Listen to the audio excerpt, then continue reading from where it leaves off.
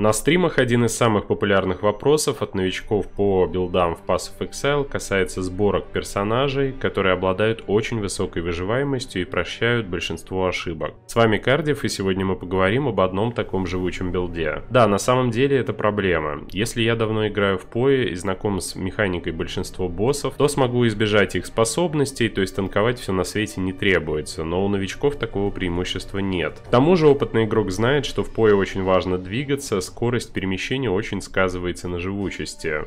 Но многие игроки не привыкли к такому геймплею и хотели бы играть билдом, который может стоять на месте и впитывать урон. Кустот, один из членов нашего сообщества, согласился поделиться описанием билда Лиги Кража. Это вождь с использованием комбинации умений Мечепад и взрыв клинков. Это очень мощная связка двух умений, одинаково хорошо справляющаяся как с зачисткой, так и с убийством боссов. Вы сотворяете способность мечепад, оставляя на земле множество лезвий, а затем взрываете их, нанося внушительный урон огнем. Билд выносит весь контент, включая убер-боссов, при этом обладает очень хорошей выживаемостью. Сам автор оценивает плюсы и минусы билда следующим образом. В первую очередь плюсы это выживаемость, в кражах можно бегать по любому полу, минам, через лазеры и все переживем. Также мы переживаем большинство slam ов и опасных атак боссов. Это довольно бюджетный билд, хороший стартер, но придется пострадать на сюжетке до примерно 50 уровня в процессе прокачки.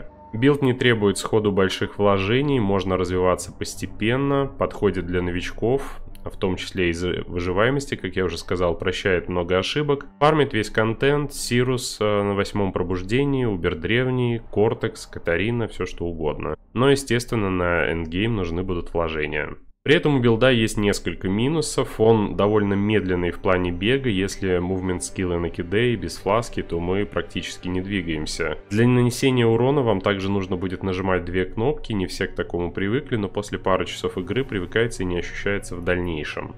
Ну, по модам карты мы не любим элементальный рефлект, такие карты мы просто игнорируем. Также лучше избегать запрета регенерации маны и здоровья. В описании видео будет пошаговое дерево пассивных умений для прокачки персонажа. Стартуем мы дикарем, для левелинга используем какие-то огненные умения на ваш выбор. Подойдет магмовый удар, тотем священного огня, огненный шар, то есть любые умения, которые сочетаются с вашим стилем игры. Для передвижения сразу же используем огненный рывок. Желательно использовать щит и какое-то одноручное оружие, жезл либо скипетр. В первом лабиринте для повышения выживаемости берем а, Валака, создает заряды выносливости, у нас их станет 4, каждый дает 4% сопротивления и снижение физического урона, то есть в сумме будет 16%.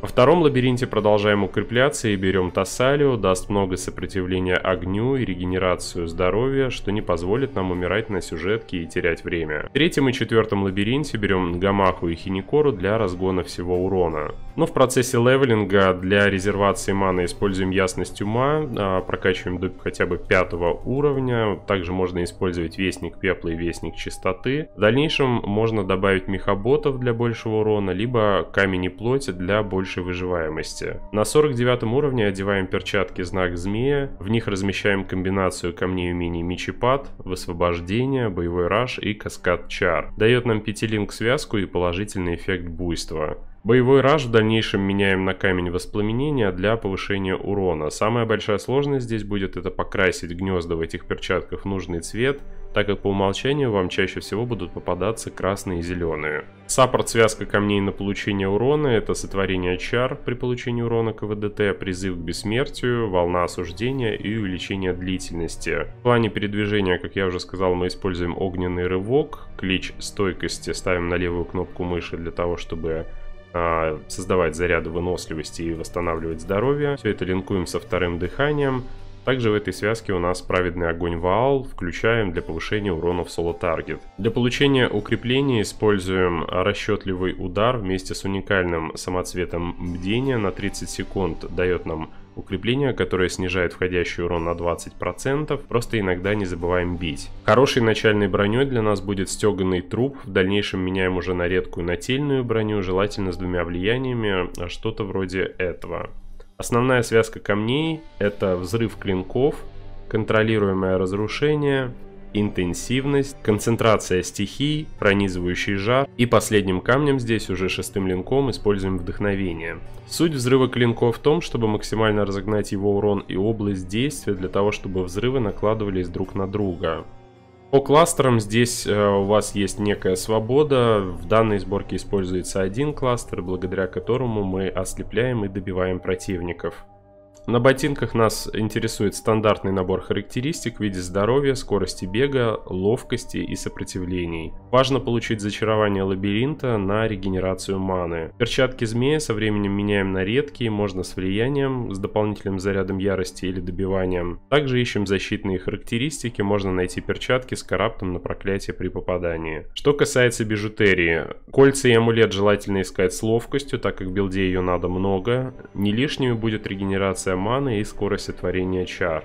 На амулет наносим маслом э, свойство колдовская скорость, так как у нас есть кап блока, даст очень много урона. Одно кольцо ищем синтезированным свойством на колдовской выброс, крафтим его сущностью истерии для получения дополнительного урона. Второе кольцо используем встроенным проклятием горючести. В идеале нам нужен амулет с двумя влияниями, что-то вроде подобного, но сам автор использует амулет попроще. Здесь уже все зависит от вашего бюджета. Вначале мы используем уникальный пояс оковы души для повышения выживаемости. В дальнейшем меняем его на темные тиски с самоцветом бездны, на котором желательно получить максимум физического урона чарами. Шлем желательно использовать под влиянием древнего, стройным камнем концентрация стихий, можно также получить на нем добавленный физический урон к чарам. Лучшим зачарованием лабиринта для нас является увеличенная на 24% область действия взрыва клинков.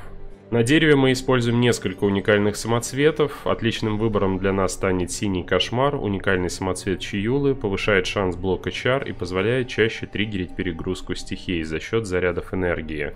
С помощью уникального самоцвета озарения мы экономим очки на дереве и берем отличные ноды на усиление персонажа. Ну и главный самоцвет на выживаемость здесь это Джеол Легиона Блистательное Тщеславие для получения ключевого умения Божественная Плоть. 50% входящего урона от стихий становится уроном от хаоса. При этом вам нужно будет вложиться в сопротивление хаоса, само собой. В итоге наши сопротивления будут выглядеть примерно как-то так. Для этапа прокачки отличным выбором оружия станет уникальный кастет Лапка Сибеллы, дает много урона за счет капа блока, плюс мечепад наносит очень частые удары спеллами, что даст поддержание здоровья. Далее ищем скипетры под влиянием вождя с набором определенных полезных модов. Сам автор билда использует вот такой вариант. Поначалу в качестве щита можно использовать что-то простенькое. Далее уже ищем щит с лучшим набором характеристик выживаемости. Важным будет восстановление здоровья при блоке. Также здорово выглядит свойство на снижение резервации маны, но все упирается в ваш бюджет. Полезными атрибутами также могут стать скорость сотворения чар и плюс один уровень камней физических чар. Тут можно использовать два уникальных флакона, хорошим выбором станут мудрый дуб и урна глотателя пепла, с ними у нас будет больше урона. Но остальные флаконы это гибридный на восстановление здоровья и маны, также ртутный для перебежек и гранитный для получения дополнительной защиты. Если у вас остались дополнительные вопросы по этому билду, задавайте их в комментариях под этим видео, на них постарается ответить сам автор. Спасибо за просмотр этого видео, подписывайтесь на канал, ставьте лайк. С вами был Кардив, увидимся на трансляциях. Пока.